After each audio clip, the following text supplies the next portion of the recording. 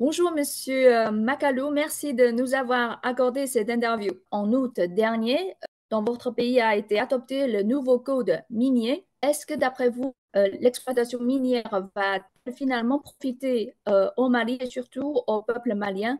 Et d'ailleurs, c'est une question ou bien un défi commun pour beaucoup de pays africains. Comment s'en sortir de la malédiction des ressources naturelles.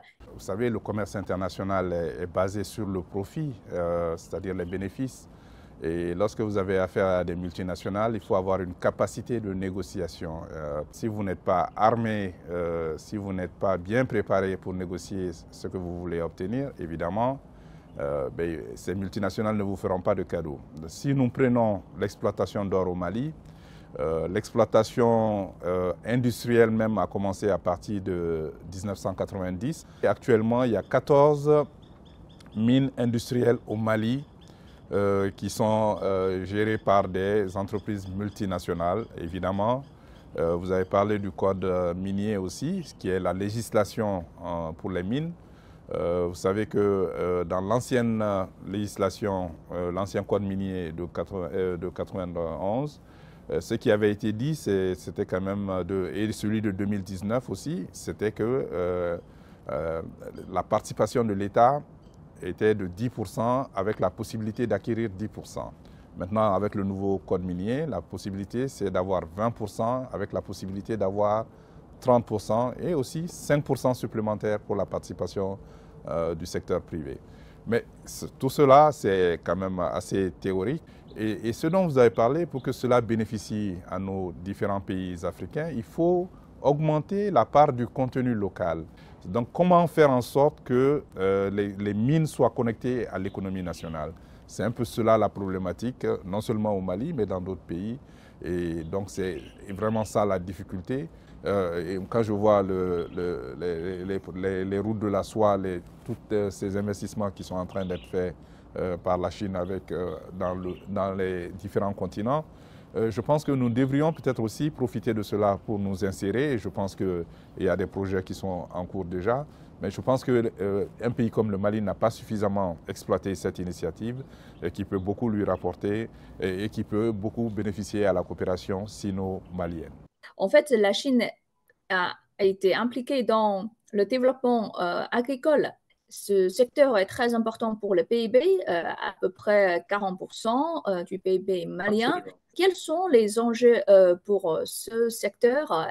Et d'après ce que j'ai appris sur le site officiel de l'ambassade de Chine, je sais qu'on a déjà installé un centre technique au Mali vous avez totalement raison, mais vous parlez de euh, cette unité récente, mais moi, euh, lorsque j'ai commencé à travailler à la présidence en 1992, ma première visite sur le terrain, c'était euh, à l'unité de production de sucre, Soukala, qui se trouve dans la région de Ségou et qui avait été mise en place avec l'aide de la Chine en 1965, madame.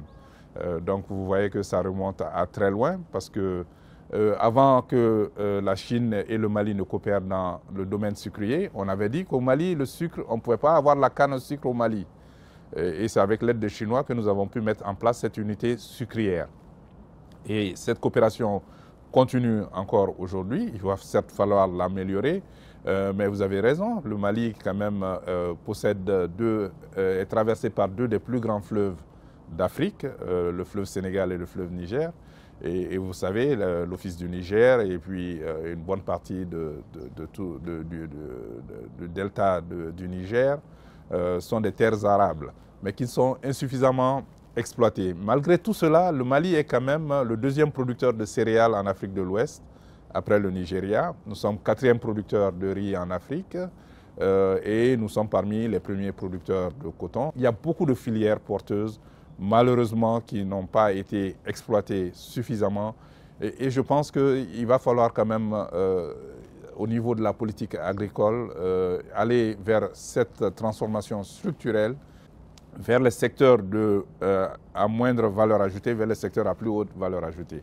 Et c'est pour cela que cette unité technique mise en place avec la Chine est extrêmement importante. En réalité, le problème, c'est un problème de productivité et de compétitivité de nos économies Mes dernières recherches sur la Chine ont prouvé que 97% des exportations de la Chine étaient des produits manufacturés. vous avez vu, la Chine a, réussi cette transformation structurelle assez rapidement, jamais vue dans l'histoire de l'humanité. Et je pense que nos pays devraient profiter davantage de tout cela. J'aimerais bien savoir la situation dans les villes. Est-ce que les réseaux sociaux sont populaires chez vous? L'exode rural est une réalité, mais les infrastructures de base ne suivent pas. 50% seulement des Maliens ont accès à l'énergie. Et en Afrique, vous avez 600 millions d'Africains qui n'ont pas encore accès à l'énergie. Donc vous voyez que euh, cela est un handicap pour le développement de nos pays. Maintenant, euh, la démographie, vous savez, nous avons une population très jeune au Mali. La moitié de la population malienne a moins de 14 ans. Elle est très familière avec le numérique, mais comme je vous l'ai dit, euh, si vous n'avez pas d'électricité et que vous ne pouvez pas brancher vos appareils, c'est difficile d'avoir accès aux, nouvelles technologies.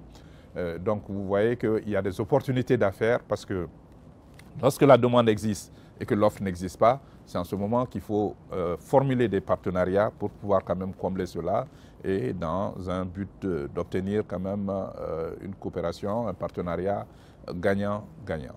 Ces trois dernières années, malheureusement, une vague de coups d'État a traversé euh, la sous-région, l'Afrique de l'Ouest. D'après vous, est-ce qu'il s'agit d'une manifestation euh, du mécontentement populaire? Et c'est quoi les problèmes profonds qui sont derrière, d'après vous? Vous savez que depuis les années 90, l'Afrique a amorcé un processus de démocratie, surtout en Afrique de l'Ouest. Mais ces processus euh, qui sont longs n'ont pas toujours eu les résultats escomptés. Mais je pense que ce sont des processus quand même qui doivent suivre leur cours. Euh, et comme vous le voyez, il y a au moins quatre transitions en ce moment en Afrique de l'Ouest, euh, mais les transitions sont quand même limitées dans le temps. Euh, l'idée, c'est quand même que le peuple puisse choisir ses propres dirigeants. Et moi, je suis pour cela. Je ne pense pas qu'il y ait d'alternative à la démocratie, mais c'est à nous de définir quel genre de démocratie nous voulons. Après le Mali, le Niger et le Burkina Faso viennent d'annoncer leur retrait du G5 Sahel. Ces trois pays, euh, dont le Mali, ont créé en septembre dernier l'AES, l'Alliance des États du Sahel, décident de compter sur eux-mêmes en quelque sorte. Et comment voyez-vous cette nouvelle alliance et euh, la création possible d'une banque d'investissement commune pour ces trois pays? Je pense que c'est une excellente idée. il faut quand même renforcer la coopération euh, sous-régionale en matière de sécurité et de défense. Euh, et, je pense qu'il y a une haute autorité de développement intégré du Liptako-Gourma qui regroupe ces trois euh, États depuis les années 70, qui depuis 2017 avait décidé de renforcer la coopération au niveau des aspects sécuritaires, parce que essentiellement cette organisation du Liptako, autorité du Liptako Gourmand s'occupait surtout du développement socio-économique. Maintenant, avec la création de l'Alliance des États du Sahel depuis le 16 septembre 2023, ces trois États ont décidé d'aller vers une confédération et aussi d'aller vers une intégration économique et monétaire. Et, je pense que c'est une très bonne chose parce que, vous savez, euh, ces trois pays sont essentiellement des pays agro-silvo-pastoraux. Euh, ces trois pays sont aussi des pays très miniers euh, qui possèdent de, beaucoup de ressources naturelles. Si vous prenez la production d'or uniquement du Mali et du Burkina, ils deviennent producteurs, euh, premiers producteurs africains d'or. Si vous prenez le coton du Mali et du Burkina, ils deviennent premiers producteurs. Si vous prenez les céréales, c'est la même chose. Si vous prenez le bétail, c'est la même chose. Donc ces trois pays constituent maintenant une force montante en Afrique, non seulement sur le plan politique, mais sur le plan aussi économique. Donc je pense que c'est à, nos trois pays de, de l'AES de définir les priorités, d'aller ensemble pour faire des économies d'échelle avec de nouveaux partenaires et les anciens s'ils veulent s'aligner sur la stratégie de l'AES.